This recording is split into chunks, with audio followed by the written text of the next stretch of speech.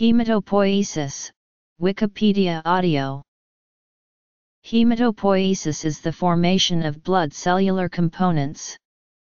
All cellular blood components are derived from hematopoietic stem cells. In a healthy adult person, approximately 10 11 10 12 new blood cells are produced daily in order to maintain steady state levels in the peripheral circulation. Hematopoietic stem cells reside in the medulla of the bone and have the unique ability to give rise to all of the different mature blood cell types and tissues. HSCs are self-renewing cells, when they proliferate, at least some of their daughter cells remain as HSCs, so the pool of stem cells is not depleted. This phenomenon is called asymmetric division. The other daughters of HSCs can follow any of the other differentiation pathways that lead to the production of one or more specific types of blood cell, but cannot renew themselves.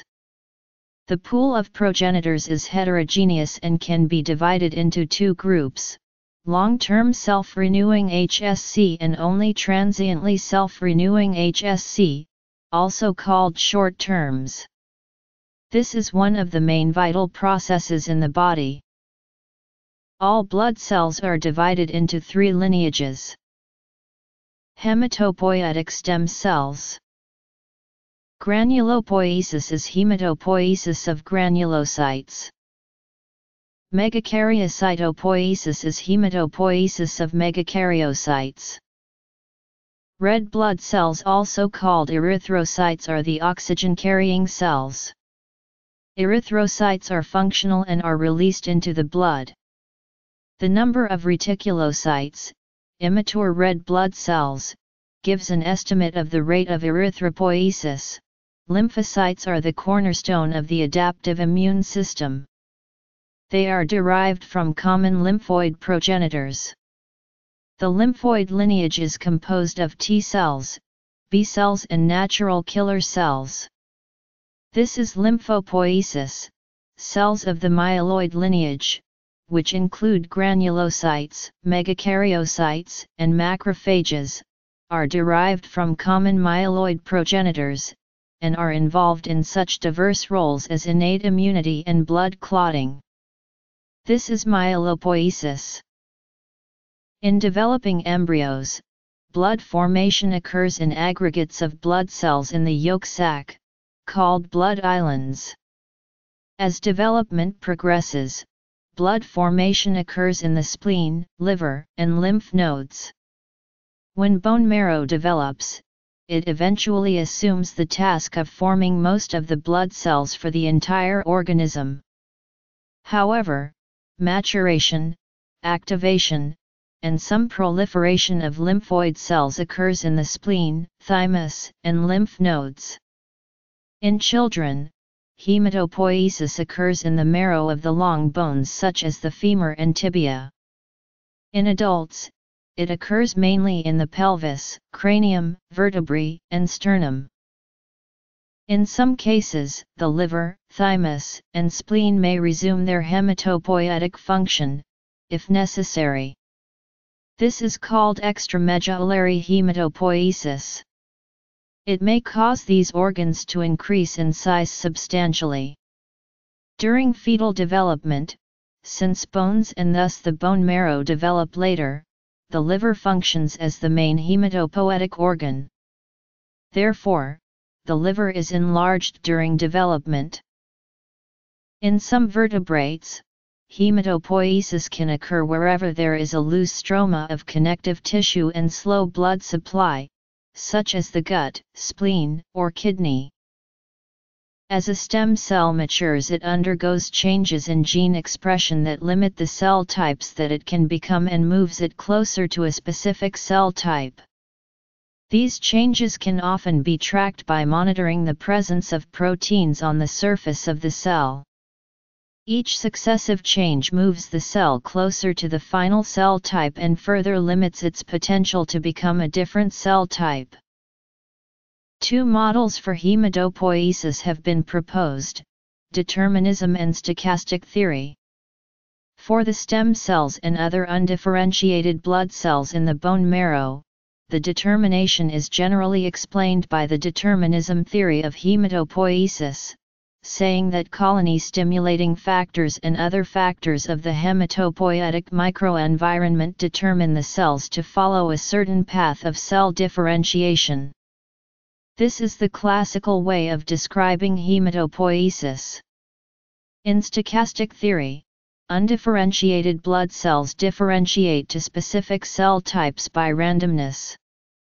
This theory has been supported by experiments showing that within a population of mouse hematopoietic progenitor cells, underlying stochastic variability in the distribution of SCA1, a stem cell factor, subdivides the population into groups exhibiting variable rates of cellular differentiation. For example, under the influence of erythropoietin, a subpopulation of cells differentiated into erythrocytes at a sevenfold higher rate than the rest of the population. Furthermore, it was shown that if allowed to grow, this subpopulation re-established the original subpopulation of cells, supporting the theory that this is a stochastic, reversible process.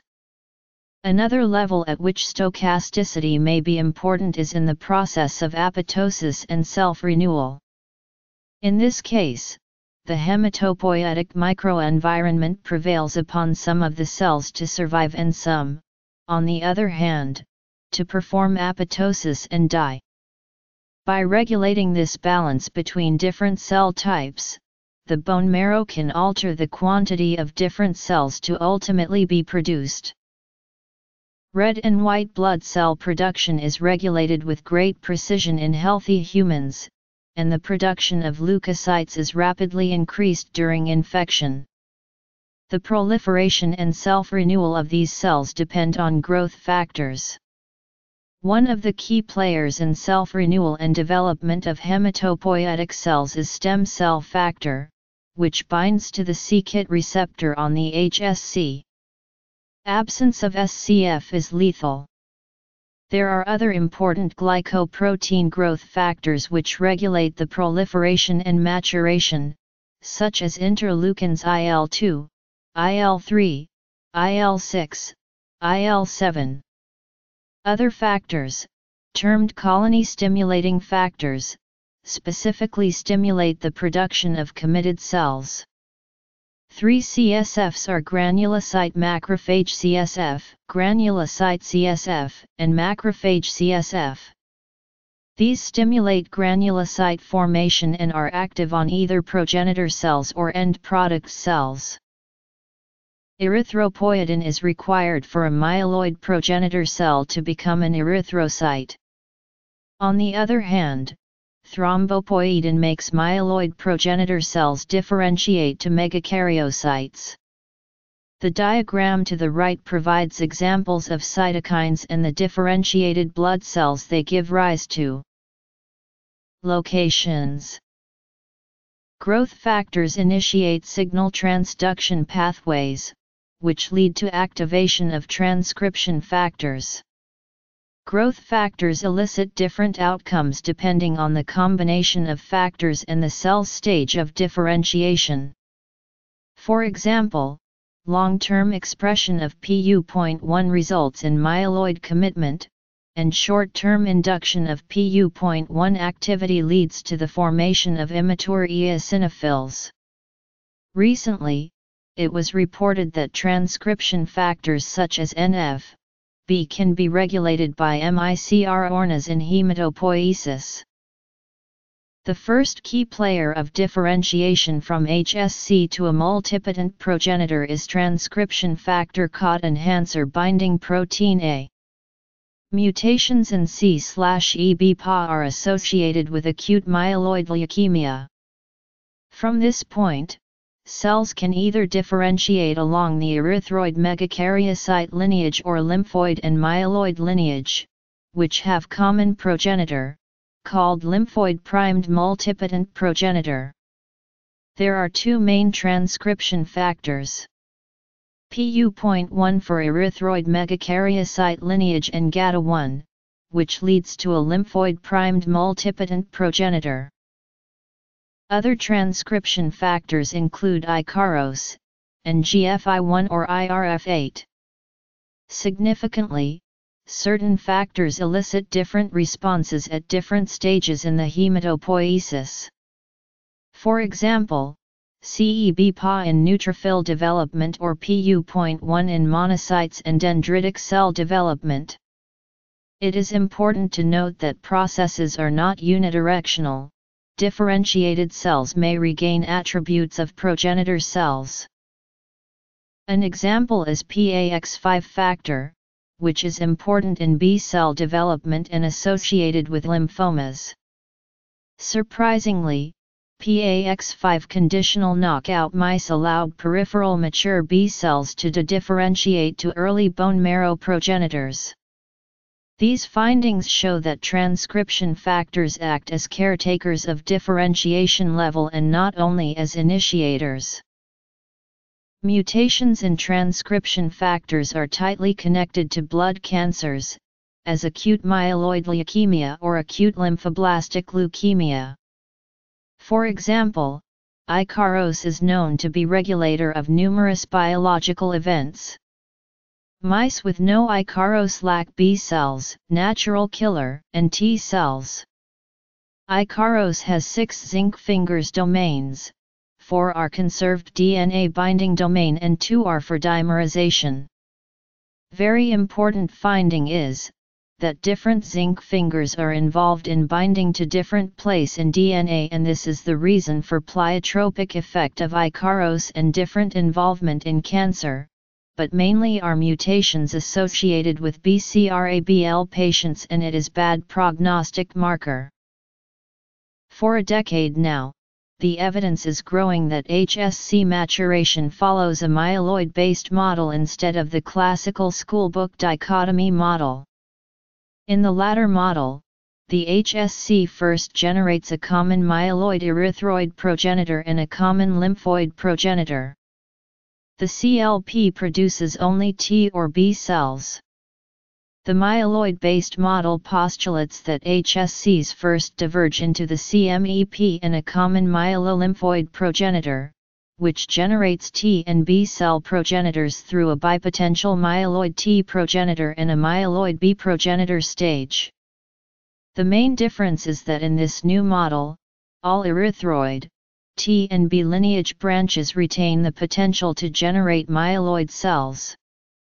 The model proposes the idea of erythroid, T and B cells as specialized types of a prototypic myeloid HSC.